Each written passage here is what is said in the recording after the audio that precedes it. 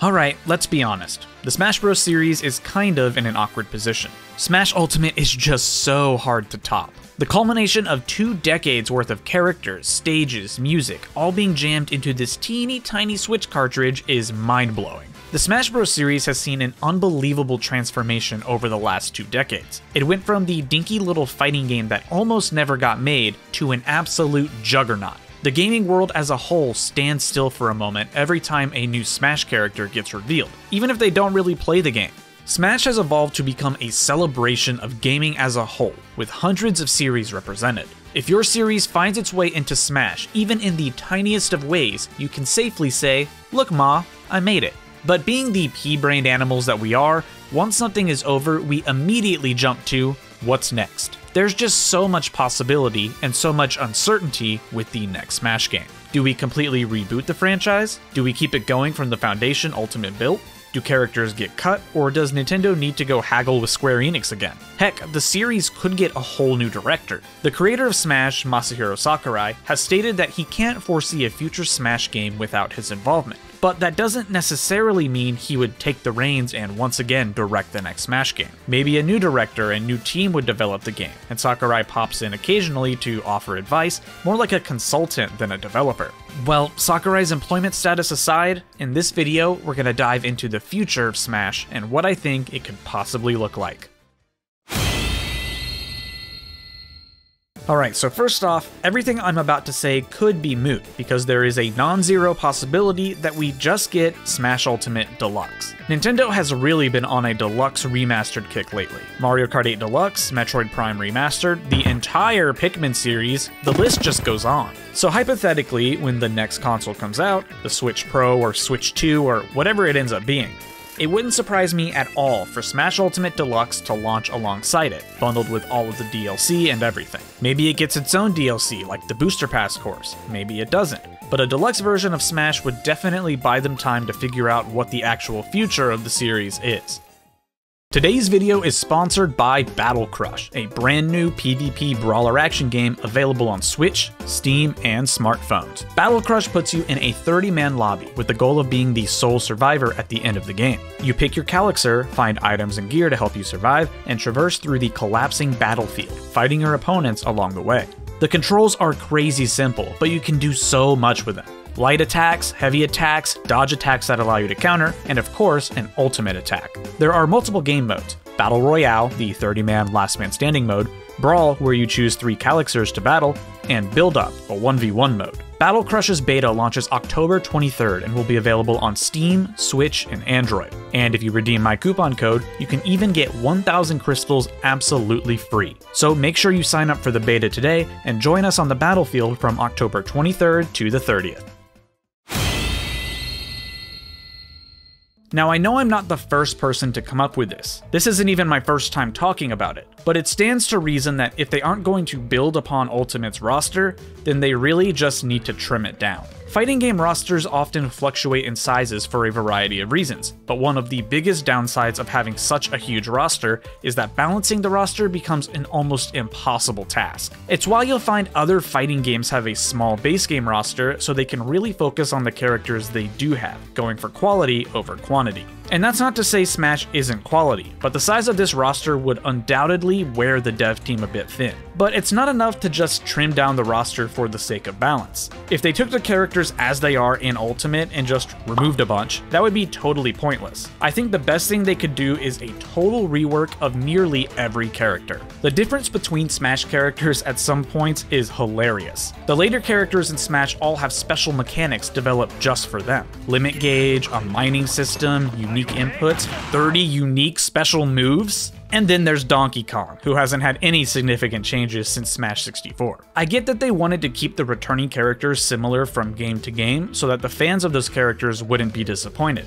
But when you look at the original 12, even Melee and some Brawl characters, and then compare them to the later characters, I mean, it's like they're from two completely different games. Even Link, who was given an update to match Breath of the Wild, really didn't get anything earth shattering. You can remote activate his bomb now, and he gets that funny double arrow thing, and that's all they did. It's like they were scared to change the character too much, which is hilarious considering both Young and Toon Link covered that moveset perfectly already. So yeah, give the characters who stay total overhauls. Give Mario Cappy, actually make a Breath of the Wild Link, or even Tears of the Kingdom at this point. Make Sonic not just Ball the character. If it takes a tiny roster to bring a huge refresh to the characters that do stay, I'd totally be down.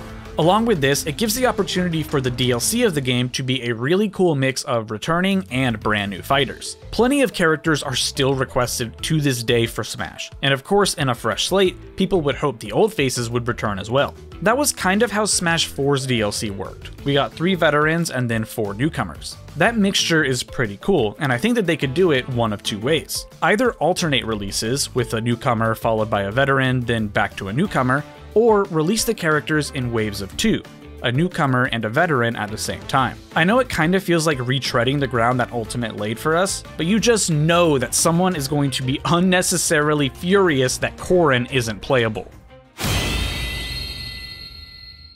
Man, I don't know.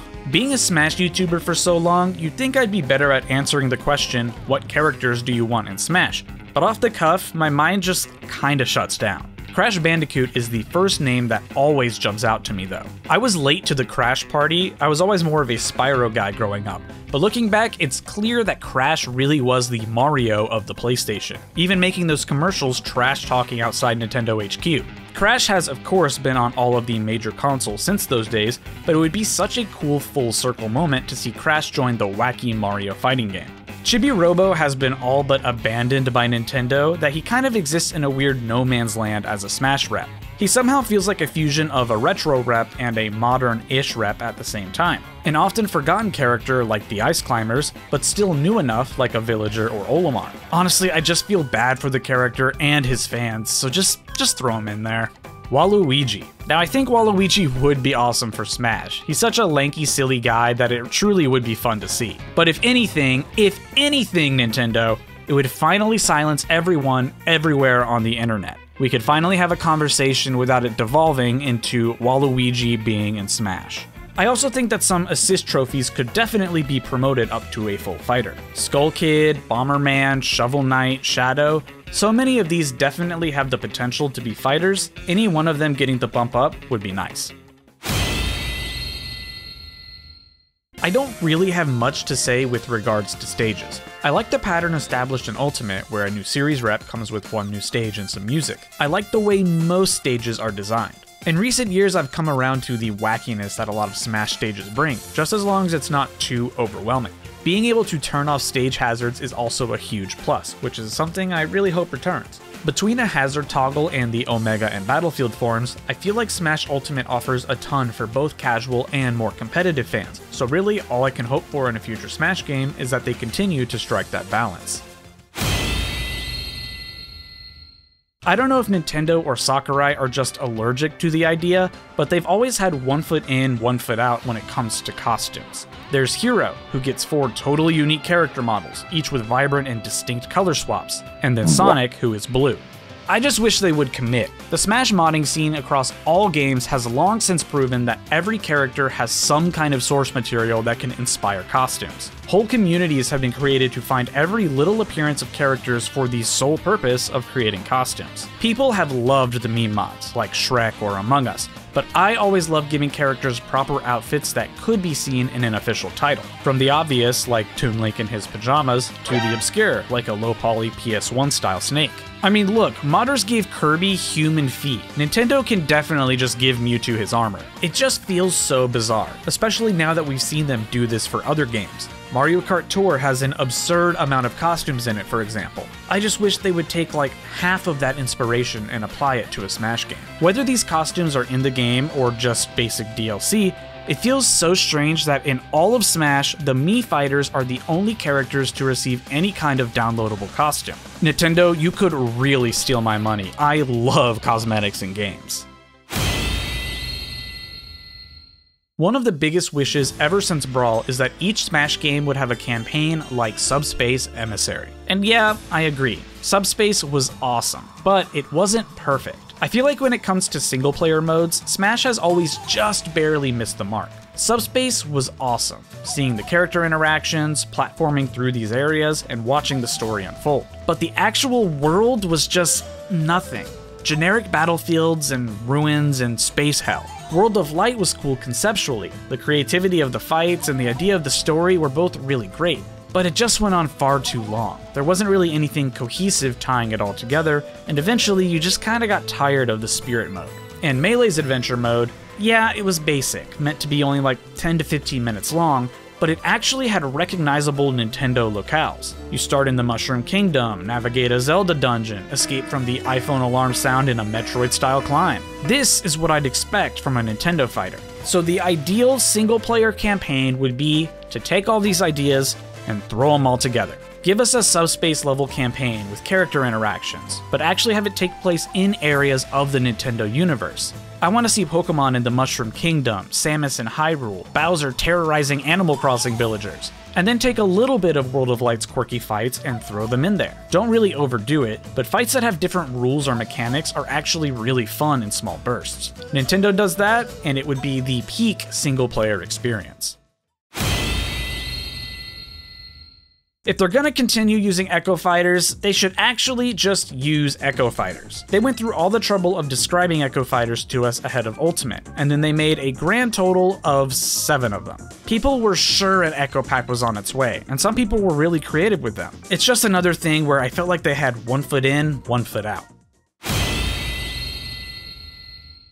I really hope they keep Classic Mode the way it was done in Smash Ultimate. Creating a unique path for each character that represents them or their series was such a unique spin in a formula that was becoming a little stale. Most of the routes are fantastic. There are some, of course, that could be a bit better, but overall, the concept is just perfect. I can only assume that Spirit Battles won't be a returning feature in the next Smash game, and I think that Spirit Battles and Ultimate probably held classic modes back. So I think for the next game, it would be awesome if they took the best aspects of Spirit mode, plopped them in classic mode, and like really committed to it, and gave each character one of the perfect routes for classic mode. But one thing above all that has to be in a new Smash bring back Poke Floats, you cowards.